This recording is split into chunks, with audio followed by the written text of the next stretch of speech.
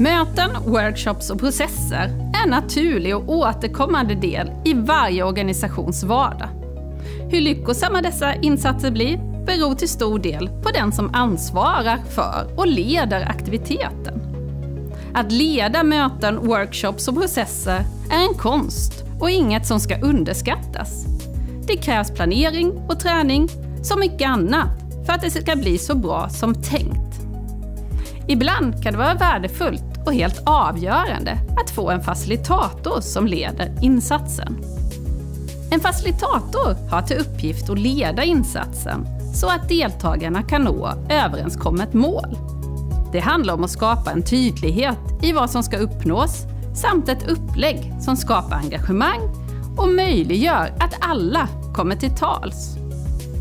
Vad vi kan förvänta oss av varandra blir en avgörande del i spelreglerna.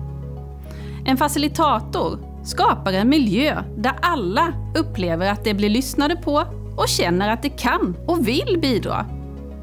En miljö där interaktionen mellan deltagarna får flöda och där alla tar ett aktivt ansvar för helheten.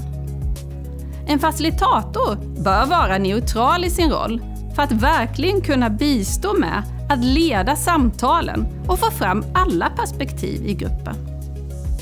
En facilitator hjälper till att sortera, summera och med hjälp av att ställa frågor skapas förståelse för deltagarnas olika perspektiv, idéer och tankar.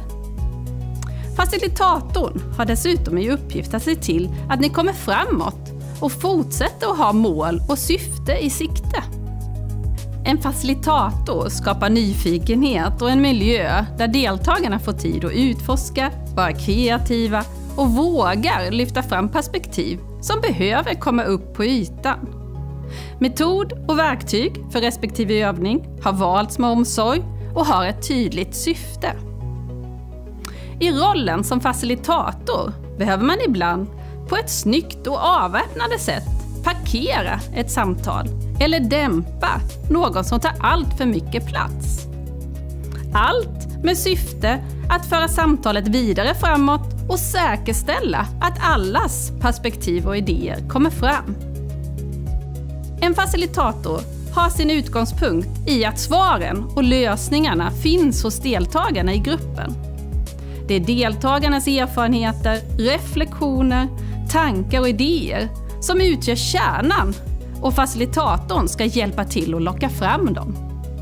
Om du får ett uppdrag som facilitator, fundera över hur görs en bra plan för att uppnå syfte med insatsen? Vad behöver du som facilitator förbereda? Vilken information behöver deltagarna för att det ska bli tydligt? Och hur kan de förbereda sig? För att få den effekt som önskas är det även viktigt att fundera på hur insatsen dokumenteras och tas vidare efteråt. Hur följs insatsen upp för att lära för framtiden?